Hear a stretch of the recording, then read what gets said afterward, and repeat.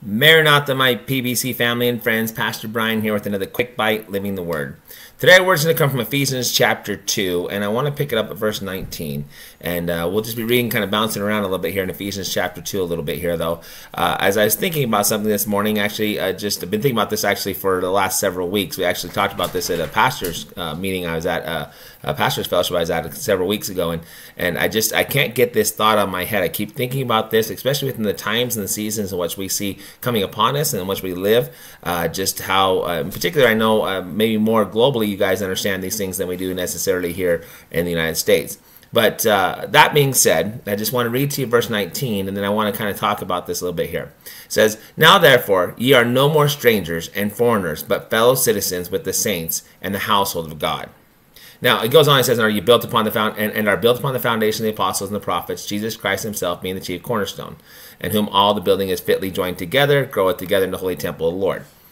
Now, what is interesting about this is what it literally says to us here. It says, Now therefore, you are no more strangers and foreigners, but fellow citizens with the saints of God and the household of God. But where are we citizens of? Where is the household of God? Where are what are we built upon? See, the point of the matter is, we know other places tell us that our citizenship is not here, that we're ambassadors for Christ here, meaning we live in a foreign land. We're strangers and aliens here. But what is interesting to me though is I love every time the Bible says, now therefore. That means he's saying the thoughts that came before this led him to this thought. Because now therefore you are no more strangers, but now you're fellow citizens and with the saints of God. And our citizenship is not here. Now therefore what? Why? In other words, right? Well, just look back if you would here. Um, let's pick up verse four, at verse four, look at verse 14 we'll read down. For he is our peace who hath made both one, and hath broken down the middle wall of partition between us, having abolished in his flesh the enmity, even the law of the commandments contained in ordinances, for to him for to make himself of twain one new man, so make peace.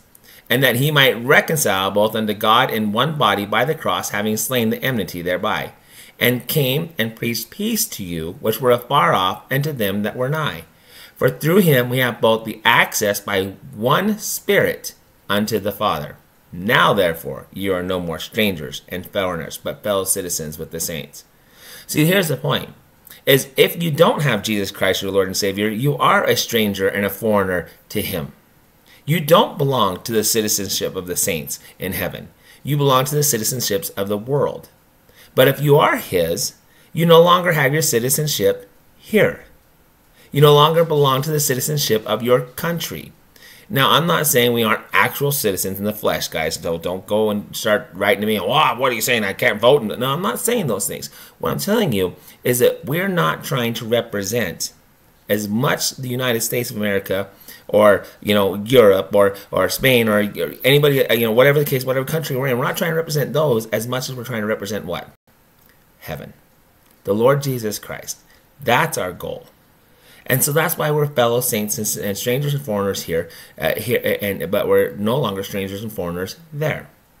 And that's such an amazing thing, such an amazing promise. So I hope today you keep that in mind as you sit there and worry about how the world might be going. Remember, this is not our home. This is not our world. This is not our country. This is not where we belong. We are just sojourners here, as the Bible says. We're just passing through and we're ambassadors while we're here, representatives for Jesus Christ. So may this encourage you today to contain yourself and your thoughts about who you belong to and where you belong. I love you. We love you. God loves you. And God's got this.